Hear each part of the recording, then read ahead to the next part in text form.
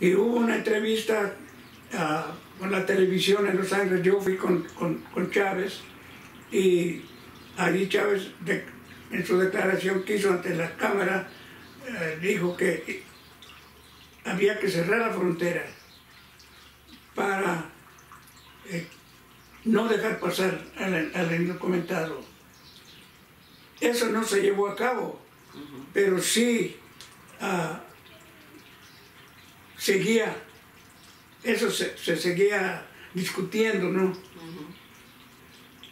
Aclarando que muchos indocumentados participaron con nosotros como huelguistas también. Pues Caminaron hasta Sacramento durante la marcha que habíamos hecho. Y cuando se firman los contratos en junio de 1970, lo primero que hizo Chávez poner en la ventanilla arriba, de la ventanilla donde entregaba las tarjetas de despacho para ir a trabajar, en la ventanilla arriba puso con letras grandes a todo trabajador que no cuente con papeles de residencia legal no puede ser miembro de este sindicato. Aunque habían participado en la, en la huelga. Los que habían caminado inclusive hasta Sacramento quedaron afuera.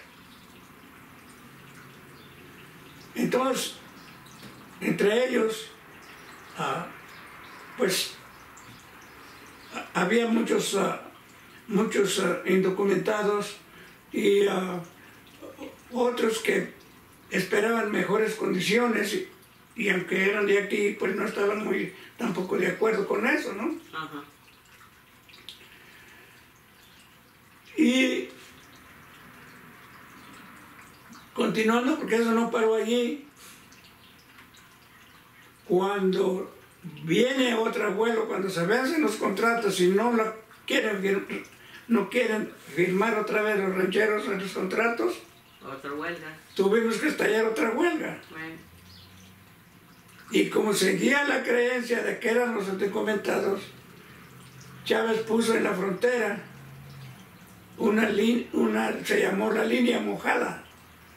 Cada tanto de distancia ponía una caseta, eh, carpas con lona, con miembros de la, de la Unión, para ayudar a la migración a detener los indocumentados yo no participé, yo no quise ir a esa, a esa línea mojada, pero sabía cómo estaba funcionando. Golpeaban a muchos indocumentados. Y eso se publicó hasta en los periódicos, el New York Times. sí. Se publicó eso. El caso que, simbólicamente o no, allí estaba la, la mejor prueba de cómo el sindicato adoptó una, una posición muy racista en contra del indocumentado.